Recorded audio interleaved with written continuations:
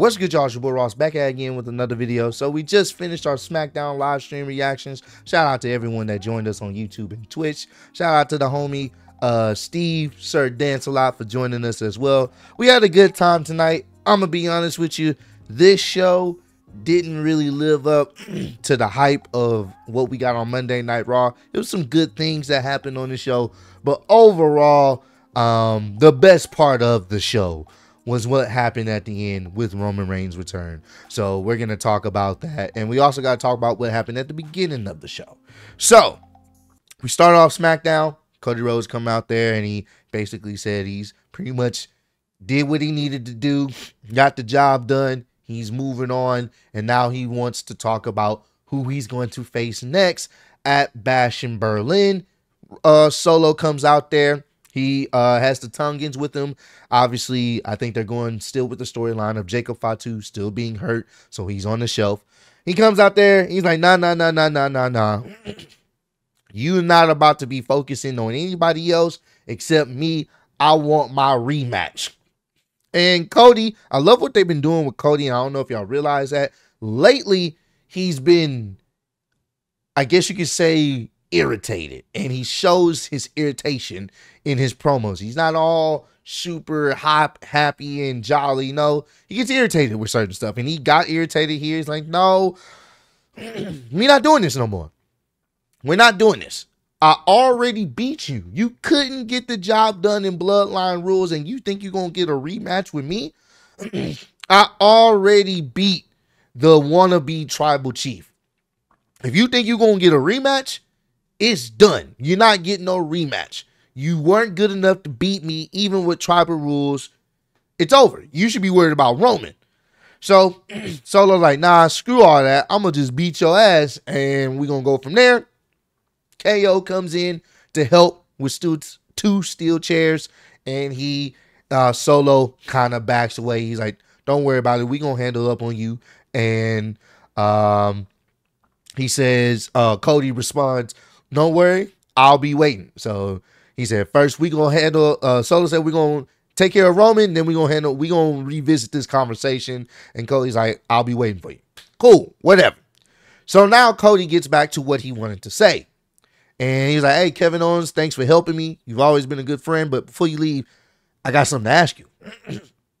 Basically, he wants Kevin Owens to be his next opponent at Bash at Berlin. Now, initially, Kevin Owens says no. He's like, nah, I'm good. I don't want it. I'm good.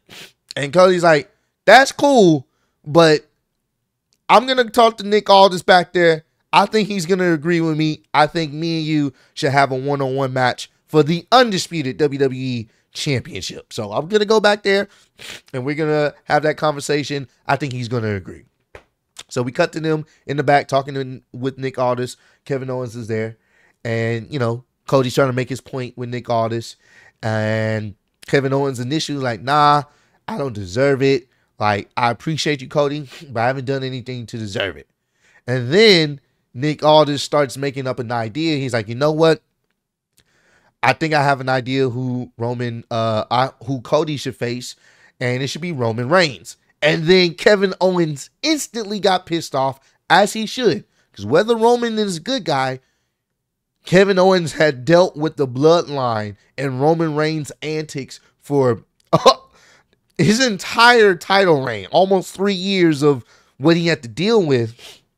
And he starts going on a, a rant talking about how if Roman Reigns deserves it, Roman Reigns is the least deserving purpose person to have a, a title opportunity. The stuff that he's done to me, the stuff he's done to to Cody, the you know how many countless times has the bloodline saved him and, and interfered in his matches to retain his title. If you're looking for someone deserving, go in that locker room. You can find a lot more people deserving of a championship opportunity than Roman Reigns. And he got really passionate about it. And then that's when Nick Aldis said, "You know what? I think I found that person, and it's gonna be you. So I'm gonna make it official. Kevin Owens." uh, Cody Rhodes for the uh, WWE Undisputed Championship. And it was all to get him roused up. And then Kevin Owens agrees, like, all right, fine. See you at Bash in Berlin. And Cody is telling Nick Aldis, I told you, if you would have said Roman, it was gonna work. And it worked. It was all part of the plan to get Kevin Owens so mad and so pissed off that the thought, the thought of Roman getting another t- title opportunity after everything he's been through was like a slap in his face. And now they're gonna have that match. It's gonna be interesting to see what they do here because it's a baby face versus a baby face. I feel like they're kind of running out of ideas on who to have in a matchup. Now, I was thinking, you know, I know Randy's going against Gunther. So obviously, I, I do feel like Gunther's going to retain. Will they bring this up at some point? Will Randy bring this up?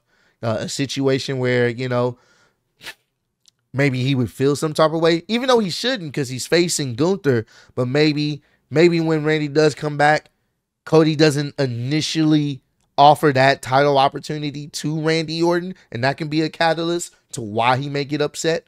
We don't know. We do. I do feel like that is a feud that they do need to go down the path on. The question is when. But this right here, even though I think this would be a fun match, I feel like it's a nothing match because one, there's no feud between them.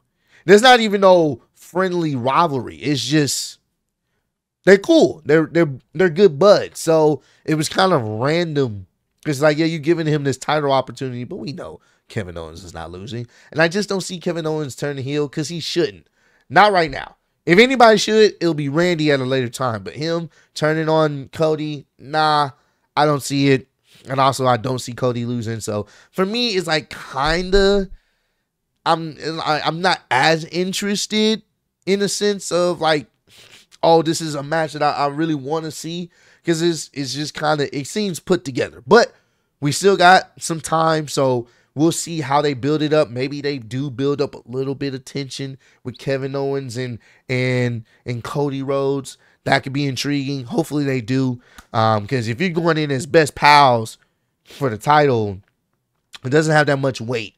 And but when you add a little bit of that tension to it, possibly it adds a little bit more intrigue. So we'll see. Y'all let me know how y'all feel about that. Kevin Owens versus Randy Orton. I say Randy Orton versus uh Cody Rhodes for the undisputed uh, WWE Championship at Bash in Berlin. And also, we got to talk about the segment that everybody had been waiting for Roman Reigns' return. So, Solo comes out there and uh, he does the usual stick of acknowledge me, even though we know that's Roman's thing, but that's what he's the tribal chief now. Crowds booing him, or the supposed tribal chief. And then Solo starts running down Roman. He basically says, you know, I have the Euler now. And that means I'm the tribal chief. So if you have a problem with it, Roman, if you have an issue with it, why don't you come down here and take it from me? Essentially. And that's when Roman's music hit. Roman music hit, crowd goes crazy, everyone putting the ones up, everyone else is acknowledging Roman without Roman saying a single damn word. And that's what made this work so good. He didn't have to say nothing. Comes down there and they uh Solo sends out the Tongans to try to beat up on Roman. They got packed. I mean, he knocked both of them down. Knocked one of them uh Tonga Loa um into the steel steps after he hit uh Tama Tonga with the Superman punch, knocked him into the steel steps. He already can't see. Picked up the steel steps and proceeds to smash Tonga Loa. Uh, uh, yeah, Tonga Loa with the steel steps, and then he smashes Tama Tonga with the steel steps and throws him down, packs him up, just instantly destroyed them. Gets in the ring. They sizing each other up, and then they start fighting.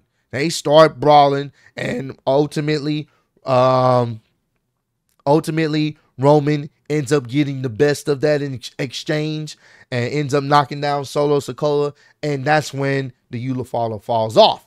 So Solo's out the ring. Roman's walking over to it, and he's about to pick it up, but that's when the Tongans get involved again, start um, attacking Roman. Roman packs them up with ease, takes care of them, and this was this is when we knew Roman was in a, a, a different space. He wasn't about talking. This is the Roman Reigns we've seen over the years, but on, you know, as a babyface now. But he still retained that aggressiveness, that intensity, the crash out in him was in full effect. You know what we were, you know what was about to happen. Roman saw, I believe it was uh, Tama Tonga on the opposite side of the ring by the announce table, by the barricade, and you knew what was happening. Roman got out the ring, ran all the way around the ring, hit a spear on Tama Tonga, packed him up, picked up a steel chair. After, and this is after he already speared uh, Tonga Loa in the ring, picked up a steel chair, went in the ring, and proceeded to beat the living hell out of a one-eyed man in Tonga Loa. This was abuse to a handicapped person. I swear. Beat him over and over and over and over with a steel chair. It was beautiful. All the while, Solo Sikoa with the Euler on, talking about, I'm the tribal chief. If you got a problem with it, come get it. As he's all the way at the top of the ramp. This was great. This was fantastic. Roman didn't say a single word. He was saying stuff off camera. Like you couldn't hear what he was saying. He was talking this shit to Solo. But this was great. This is exactly the type of return I wanted. Hopefully next week we actually get to hear him say some things. I think that's going to be great too. But this was great. This is what we need from him. It's literally him, the tribal chief, just on the good guy side. And I wouldn't even say the good guy side. He's just he's what the fans want. Some would say he's a tweener, and you could say that, but he would still technically be a babyface in this situation. Either way, this was dope. I enjoyed this. This was the best part of the show. Like outside of the LA Knight promo segment, which was awesome, and what they got going on with him, I believe he will be feuding with Santos Escobar relatively soon outside of that, in the opening segment with Cody Rhodes and stuff, for me, this was fantastic. This is what I want to see out of Roman Reigns. That intensity, um, same type of intensity he had in the Shield, same type of intensity he had as the Tribal Chief. Now he's back, and this is fantastic. Great. Looking forward to what they do with Roman Reigns. Uh, they just got to fill out the rest of the show to get it that it, get the intrigue with everything else going on. Because right now, now that Roman's back on SmackDown, that's the segments people are to watch. So comment down below. Let me know, did you guys enjoy this episode of SmackDown? Also, are you guys excited to have Roman Reigns back like I am? I think a lot of us are. And when do you think we're going to get this solo versus Roman Reigns match? Do you think it's going to happen at Bash in Berlin or do you think it's going to be at Bad Blood maybe? When when y'all think they're going to finally clash? And also, when y'all think that that uh that I guess that interaction with Jacob Fatu and Roman because you know Jacob's gonna be coming back soon.